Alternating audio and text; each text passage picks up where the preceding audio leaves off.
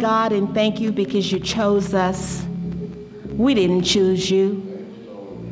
We thank you and we praise you, Lord God, that you look beyond our sin. You reached down and you met us right where we were. We thank you and we praise you, Father God, that even now you continue to forgive us of our sins, those that we, as we confess our sins, those sins that are known as well as the ones that are unknown, Lord, we ask forgiveness for it in Jesus' name, just as we have already forgiven all those that have sinned against us, that have offended us, that have mistreated us, that have talked about us, misused us, Lord. We release them, we forgive them. And Father, it's in the name of Jesus that we just ask you to have mercy upon them. We ask you to bless them, Lord, exceedingly abundantly beyond anything that we could think to ask for ourselves. Meet them right where they are, Lord God. Father God, it's not in the name of Jesus that we ask your blessings upon our pastor and his wife while they are away, Lord. Bless them abundantly right where they are. Keep them safe and free from all hurt, harms, and dangers, seen and unseen, Lord. Replenish their strength as the eagles, Father, we ask you in Jesus' name. Give our pastor a double portion of an anointing, Lord. And we thank you for it, Father. We thank you, Lord God, for the First Lady that undergirds him. We thank you for his family, Father. We thank you, Lord, for the word that you've given him to minister to your people here at the stop. We thank you, Father God, for the disciples and members that are coming into the, to the congregation from the south, from the west, from the east, and from the north. We thank you, Lord, that they're just running in. We thank you, Lord, for words of comfort that he gives to the members here, Father God. And now, Lord God, it's in Jesus' name. We lift up every member within the congregation that is afflicted with any type of physical and or mental challenge, any type of challenge, Lord. Father, you said that we should ask in the name of Jesus, and whatever we ask, you would give it to us. And we ask right now, Lord God, that your healing is manifested in each and every one of our bodies according to your word, and we thank you for it, Lord. Father God, I thank you that I have been selected as your chosen vessel to bring the word tonight, Lord. Father, and I just thank you that as I die out so that you can rise up in me, Father. It's your word, Lord. I listen for your word, not mine, but your word. Speak through me, I pray, in Jesus' name. Father, we give you all of the praise and we give you the glory for the word tonight. And we thank you in Jesus' name. Amen. Amen. Amen. Good evening. Good evening. Praise God. Yes? Oh, good evening. Good evening to everyone. It's good to see all of you guys again tonight. Amen. Thank you for the word. Thank you for that wonderful praise and worship service. You know, it's just something about praising God that um, when you praise Him from the depths of your heart, you just you're you're not the same anymore because you just the anointing just come down upon you, and um, it's just a difference in your feeling. It's, it's you you think of all of the good things, the goodness of God. You think of who we are, where He met us when we were there, how He reached down and He picked us up, and how He has walked with us and He has brought us to where we are now. And you just can't stop thanking Him enough and praising Him enough and giving Him the glory because it's not us, it's Him. Um, we're going to continue to talk on uh, study John 15, 16, if you'll turn there with me. We've been taught, pastor's been talking about it now for about two months, six to eight weeks.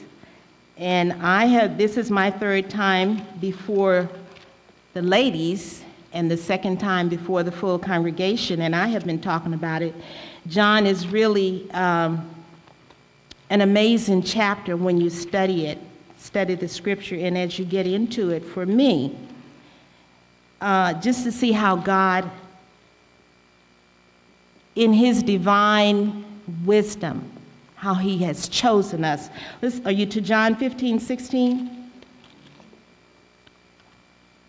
Okay, the scripture reads, You have not chosen me, but I have chosen you and ordained you. Thank you. That you should go and bring forth fruit, and that your fruit should return, remain, that whatsoever you shall ask of the Father in my name, he may give it you.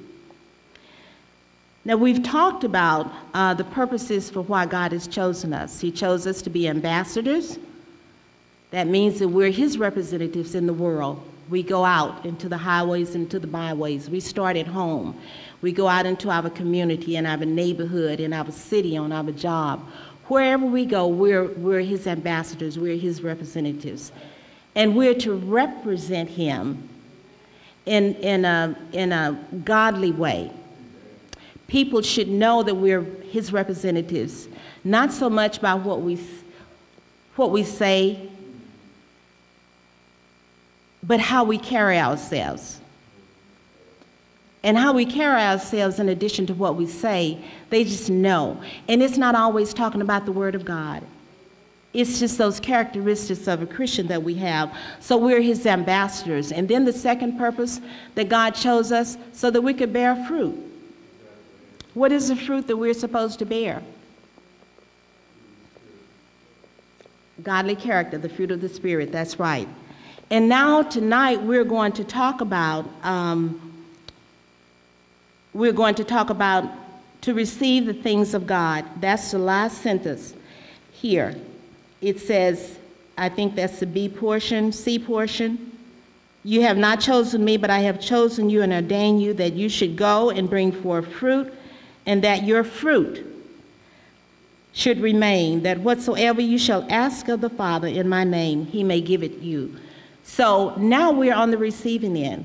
We are ambassadors, we bear fruit, and then the word tells us, the last portion of this, this verse here tells us that we are to receive of God. However, before we can receive, there is a big if, two letter word. It's conditional. You know, uh, many times people will take the word and say, well, God said this and God said that. God said if I ask, He would give it to me. But it's conditional. Back up to verse 7, same chapter. And it reads, if that's conditional, that means that you have to do something before you can receive it. If you abide, that means that if you stay, if you continue, if you live, if you rest in me, if you stay in me, if you remain in me, and my word remain in you, you shall ask what you will, and it shall be done unto you. Now, we have, so where, where do, how do we get to that point? We have to begin, first of all, by studying, studying the Word of God. 2 Timothy 2.15 tells us to study to show ourselves approved of God, rightly dividing His word. Rightly, that means not misinterpreting it, but looking up the words, looking up the scriptures, seeing what the, what the words mean, because as I don't know if all of you know, but I'm sure some of you do, if not all of you, that the same one word in this scripture can mean something totally different in a different scripture. So if you have your, your concordance with you, if you have your biblical dictionary with you, well, let me see what it means in here because it may not mean the same thing. The whole, and that one word meaning something different in another scripture will change the whole context of what it is. So we have to study and learn the Word of God. How are we going to know how to live, what to do, if we don't know what God's Word says? So we have to study to show ourselves approved. We have to change our thoughts and desires. We have to have it, we have to control our words. You know, um, just because we're Christians, well, just because I'm a Christian, it doesn't mean that all of my thoughts are holy. So we have to control our thought life. You know, when that thought come in there, that thought that is not lining up with Scripture, we have to take control of it. You know, over in, I believe, over in the book of Corinthians, first or second, I'm not sure, I can't remember, but it says that we are to pull down every thought, every idea, every suggestion that exalts itself above the Word of God. So if those thoughts come in there, and, and, and it doesn't, you know, you can, I can just, we can just look in one and say, mm. And the thought that goes with it may not be the best thought that there is. Or maybe someone at work, your, your, your boss, your supervisor, or whomever give you instructions, or a coworker will ask you to do something and will do something. And the thought that you have may not be such a nice thought. How about when those, whenever the, the, the offenses come, because that's what they are, when the offenses come, bless them, Lord. Bless them exceedingly abundantly. Control that thought because if you think on it, then you will allow, your mind will begin to go off in different directions, in wrong directions, that's contrary to what Scripture says. We have to be motivated and controlled by the Word of God. Well, how can you be motivated and controlled by the Word of God if you don't know the Word of God? When we study the Word of God, when we learn the Word of God, when we control our thoughts and our desires, and when we are motivated because we know the Word of God, then we meet the criteria of if. Because if you stay in the Word of God, you know, there we talked about the vine and the branches and how uh, some of the branches, once they are they're still connected to the to the vine, however, because they have not stayed strongly attached to the vine, that they're pruned off. Well, see, that's what happens to a lot of, of uh, Christians. They come in with a lot of zeal and a lot of motivation, but the cares of the world, their thought life, uh, is not controlled. You know, when we come in out of the world, simply because we've accepted Jesus as our Savior, we've confessed Him as Lord of our life, it doesn't change those thoughts and it doesn't change those feelings. The only thing that is going to change it is studying the Word of God, and then when you study the Word of God, you put it into practice. There are many people that know the Word of God, they can quote scripture beginning at Genesis 1 to the last chapter in Revelations. But then they have no control over their thought life. They will quote scripture to you and then turn around and call you everything but a child of God. That's not controlling your thought life. They will repent, so they say. And, and, and you know, when you say well, repent, it means turn away. Well, they'll turn away, but they haven't changed their mind about what they're doing. So repenting really is changing your mind about a wrong lifestyle, about what you're doing, about what you're talking about. I change my mind according to God's word. It's wrong for me to gossip. It's wrong for me to, to lie. It's wrong for me to uh, tear down my brother or my sister. I turn away from that.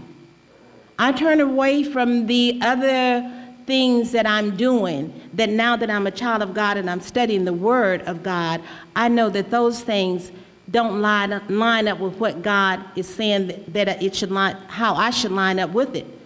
So I'm confessing and professing, but I'm not living. So what kind of witnesses are we then? We're not, we're not a witness. Remember in the beginning, I told you that uh, as, as believers, as Christians, as ambassadors, wherever we go, we represent God. It's not representative of Him when we're not living a godly lifestyle. We must ask, we're, we're at if. If we don't ask God, for whatever our, whatever our desires are or our needs. If we don't ask Him in the name of Jesus, guess what? What does the word say? We don't get it. Jesus was talking to the disciples here. Uh, from 13, 14, 15, and 16, he, it was just that was uh, right there at the Lord's Supper just before the crucifixion, and he was telling the disciples all of the things that his father had told him. And he said, In that day you will ask nothing. Ask me nothing, but you will ask everything in my name, and I will do it. He will do it because he is God, he said. And then he said, The Father will do it because you're asking in my name. If we meet the condition, if we are living Christ like, if we are not asking amiss. Sometimes, you know, again, because of lack of knowledge, because of not rightly dividing the word, people pray and say, Well, Lord, you told me I could ask anything in your name and you would do it, but I'm asking amiss. I'm asking for things that, doesn't, that, that, that are not lining up with the Word of God. So, guess what's going to happen? Your prayer is not going to be answered. It won't be answered. It has to line up with the Word of God. Whatever we ask for, we have to believe also that we receive. Do you know that many people pray and ask for things, and, and when it's done, when they're finished praying, you can, um, I don't know if you've experienced it, but we pray for healing, we pray for deliverance, and then immediately after church, oh, you know I'm sick. Oh, Arthur's got me. My back is hurting. Uh, you know I got the flu. I got the TB. I got the AIDS. I got the whatever else that they confess. But you just sit up here and you prayed. Father, in Jesus' name, I received my healing according to your word. Your word tells me that we were healed by the stripes of Jesus. So if we were healed, I am healed. Now, you just cancel out your prayer by the words that you speak. I'm not saying you don't have pain. I'm not saying that the doctor has not diagnosed. That's what the doctor said. But what did Jesus say? There's two reports. There's the doctor's report, and then there's God's report. Whose report do you choose to believe? Whose report are you going to confess? We're in this world, and our body is greatly challenged we're bombarded with all types of things in the environment. You know, the food that we put in our body, the pesticides and the herbicides and the every other kind of side and the, the whatever else that they want to put in it. That has an impact upon our body and our body break down. But Jesus said that we were healed by his stripes. So we go to the doctor, we get the diagnosis, and we take the medication and we pray over it that we come against every anything and everything in that medicine that negative side effects on our body, and we continue to confess God's word of our body. When we pray, believe that we receive. And then again, I, as I mentioned earlier, and I'm going to state it again, it's in 1 John 14, 15. If we ask whatever we ask according to God's will, He hears us. So, if, do you think that He hears us when we're not asking according to His will? Let's turn over there and let's see what else it says. That's 1 John 5 14, 15. That's the B portion of it. You know, that was a question that I didn't ask myself as I was studying because I didn't look at it. 1 John 5 14, whoever has it can start reading it, please.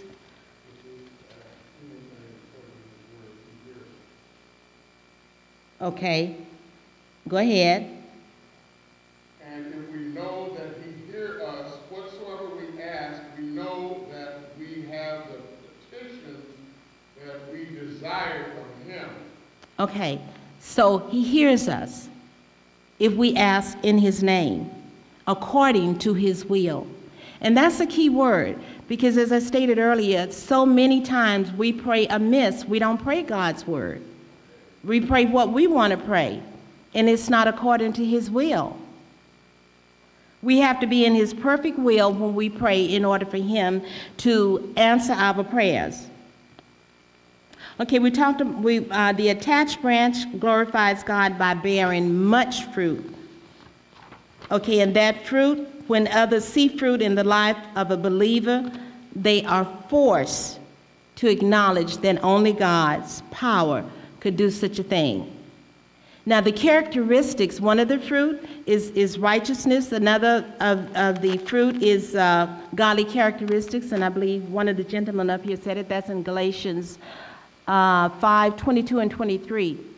Now, the fruit of the Spirit, contrary to what many believers know or believe and or believe, when you receive Jesus Christ as your Savior, the Holy Spirit will come to live in us, and these are the fruit of the Holy Spirit.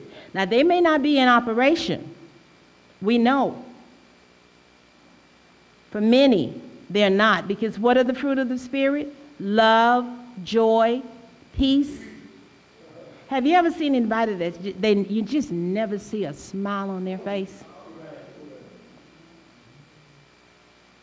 I mean, no matter what you say, no matter what you do, it's prune face. But joy is one of the fruit of the, the Spirit. Have you ever been around anyone, observed anyone where they're, in, they're always in, their life is just chaotic? There's no peace.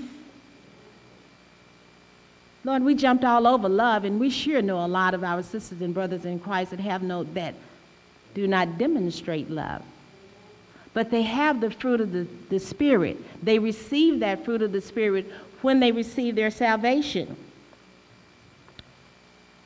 Then we have gentleness, meekness, long suffering.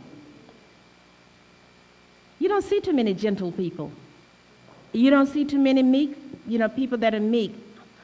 In other words, that are humble. You know, I was watching um, Dr. Carson on The View today. Such a humble man. I don't know if any of you guys saw it or have you seen him during the primaries. Such a humble man, but a strong man of God. He comes across and he's very, very well outspoken. And I was so amazed because before I thought, and this is a sidebar, he's not going to make it because he doesn't say anything, but he's just gentle, he's humble, he's meek, you know, and he sits there, but when he opens his mouth, the words pour out with such confidence. And it's according to Scripture.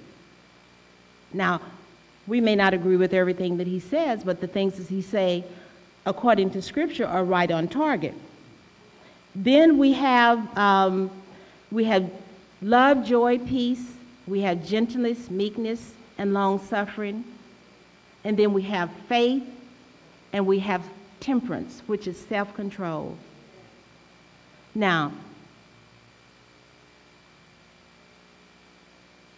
it's not a lot of self control exhibited within the body of Christ. And Lord God, long suffering, not for a minute, not, not too long.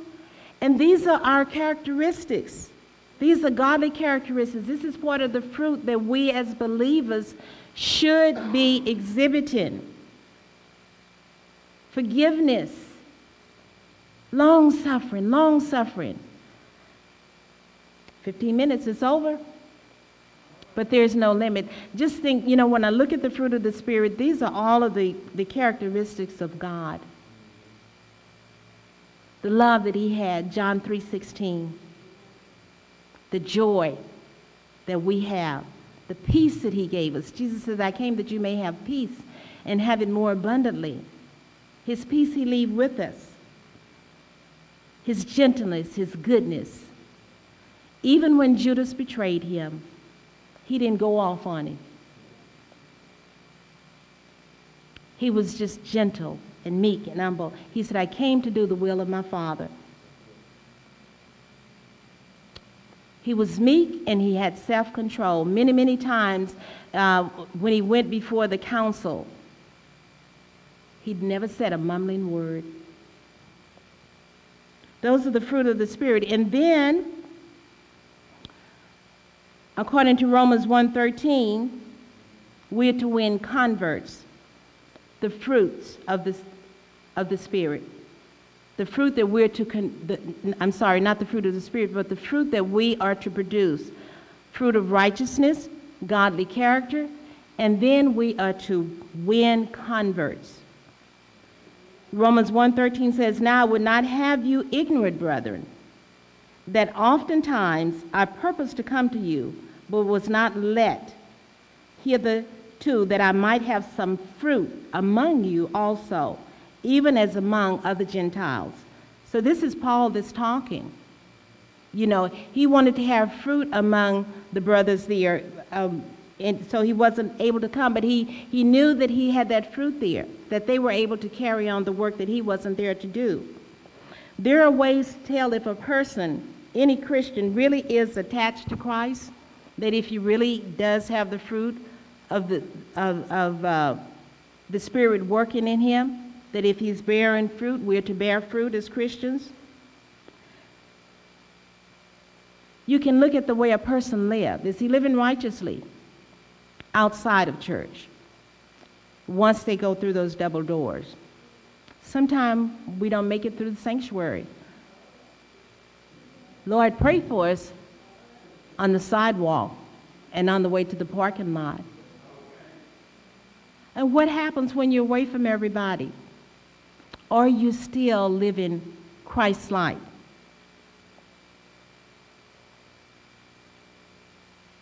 Does one lead others, the unsaved, to Jesus Christ? Are you ministering? Are you witnessing to the people that you talk to? You know, with my grandchildren, especially when, when my children were coming up, I wasn't rooted and grounded in the Word, but with my grandchildren, when they were here, every time they bring a friend over, I'd talk and then I'd ask them, I need to ask you a question. Oh, Granny. Well, I needed to know if they were saved. And, and I just asked, Are you saved? What does that mean? Have you received Jesus Christ as your Savior? Well, you can do it right now.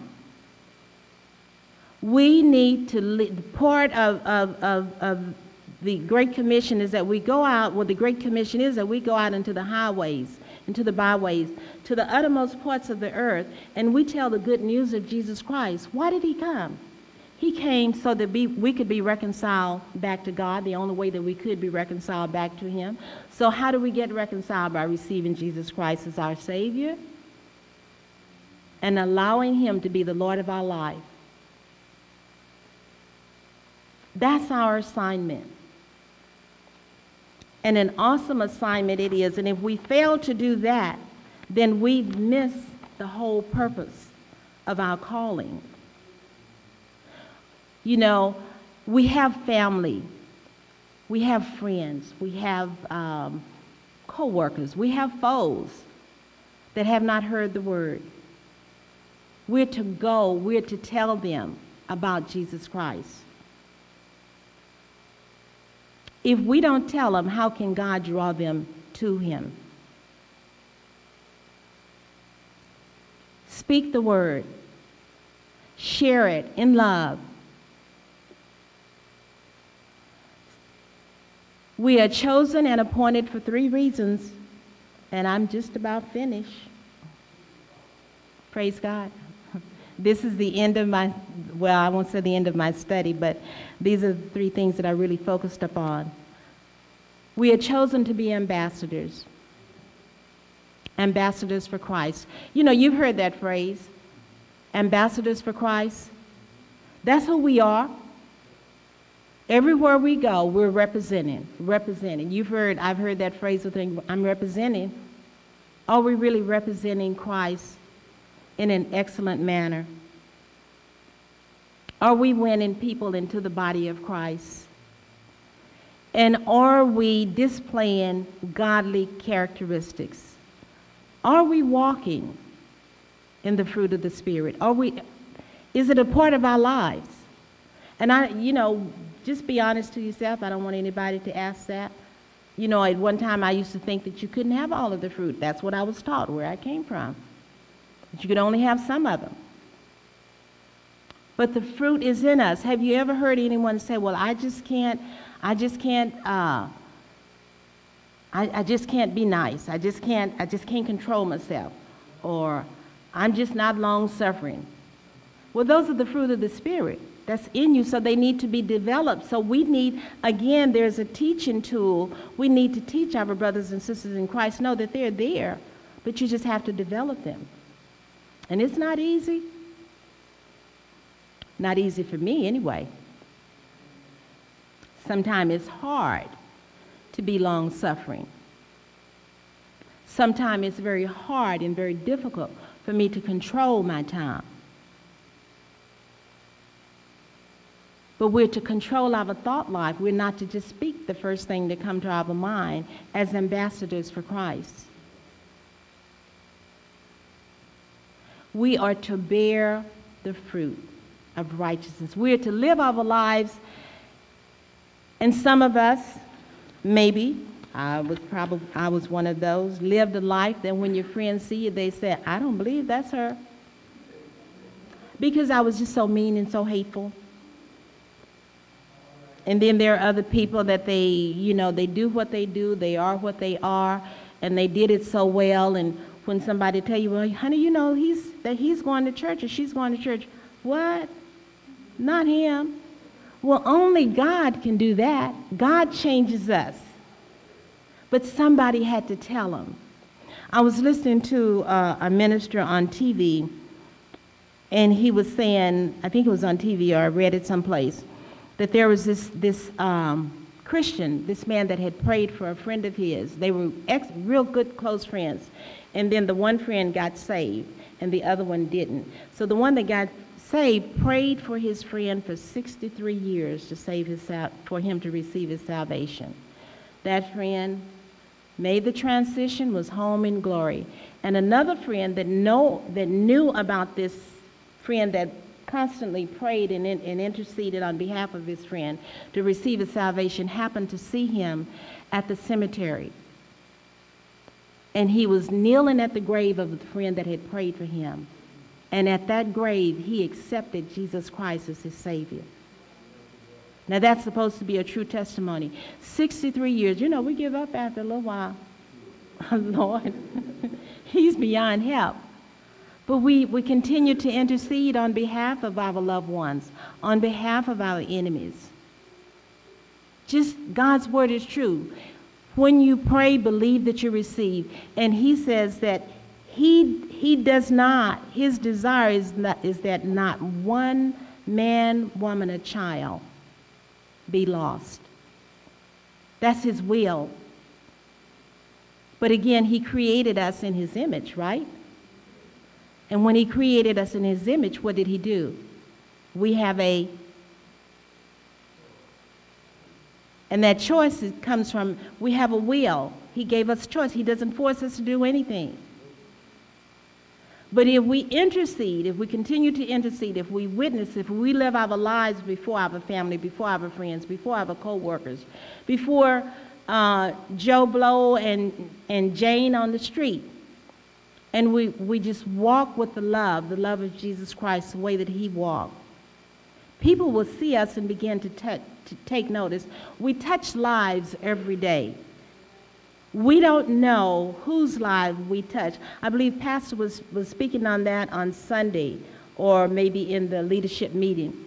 We don't know whose lives we have touched, where we've made a difference, or whose lives that we have crossed and we didn't reach out and minister to them in whichever way the Holy Spirit led us, that would have made a difference to keep that person from um, maybe having not made a choice to, to prevent that person from, I'm just going to say busting hell wide open.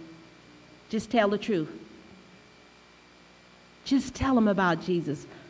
We, Jesus didn't force himself upon anybody, and we're not to do it. Our, our responsibility is to tell them.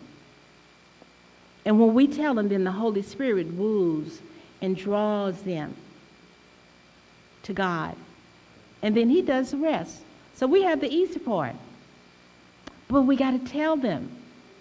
We have to tell our children at home. We have to teach them. In this day and time, with all that is going on, with wrong decisions being made, ungodly decisions being made uh, by the highest court in the land and all of this other stuff that is going on, the stuff that you see on TV, Lord help me. What it is is that it's subliminalization for our children. It's conditioning them to be accepting of the lifestyles that contradicts God's word. God tells, you know, his word tells us that we're to obey man and his laws. until it contradicts His word. Then we're to obey God. But when, when the children are there, they even have the little cartoons with the dirty little stuff in there. And Lord, help the children with the iPhones and the iPads and all of this other stuff that we can't control. Long ago, I gave up on mine because she would flip them little fingers and I couldn't figure out what she was doing. And it goes by so fast. But you know, we as parents and grandparents, we need to become more knowledgeable of the technology today so that we can better control what our children are, what they're being exposed to. The TV programs, there's not too many that's worth anything on TV anymore. And I mean, you know, there was a time, uh, probably nobody but Sister Green and Sister Scott and Sister Wednesday know, way back there, T and, and Sister Bertha, you know, they would bleep out words over the airwaves. You know, certain songs that would be sung, and then there were certain songs that just couldn't come up there, period. But now, everything goes, anything goes. And, and, and, you know, I, I think that we as Christians are not doing our part because we take it, we allow it to happen. You know, everybody is, uh, is um, going to court taking legal actions for their rights. What about our rights? We have rights too, but we don't say anything. Now, Jesus sat there and he didn't say a word, but he was on a mission. He had a mission. We're supposed to speak up. I believe, correct me if I'm wrong. But we don't say anything. We allow them to push anything and everything off on us, take, any, take everything away from us. All our rights. If you don't want to pray, then don't pray, but don't keep me from praying. You know, I see your religion. Okay, I don't receive it, but that's you. Now, given the opportunity led by the Holy Spirit, I'm going to drop a seed. But I'm not going to try to take your rights away from you the rights that should be taken away, they're leaving them there. If they take these guns away from these people, some of this killing would stop. All of it would stop. I mean, just take them. Just take them. Just make it. Well, anyway, Father God, it's in Jesus' name. I just praise you and I thank you for your word. Your word is true, Lord. I thank you, Father, that you chose us. We did not choose you. I thank you, Father God, that you ordained us. You, you took us and you placed us in a special ministry. I thank you for your word, Father God, that commands us to go out into the highways and to the byways to tell them about your Son, Jesus Christ.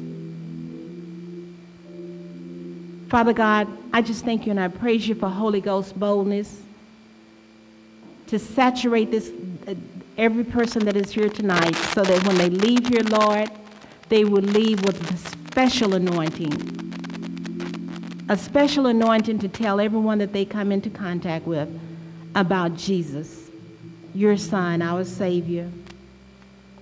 Father, we thank you for your love that was so great that you gave the best that you had to give so that we could be reconciled back to you, Father. We thank you for that. We praise you, Lord, because you're so worthy to be praised. We will always lift up your name. And it's in Jesus' name.